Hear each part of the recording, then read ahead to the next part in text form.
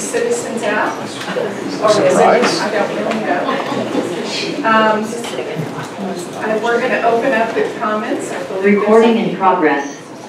That's okay. Some people have signed up to speak, and we will, um, you, you go the list of.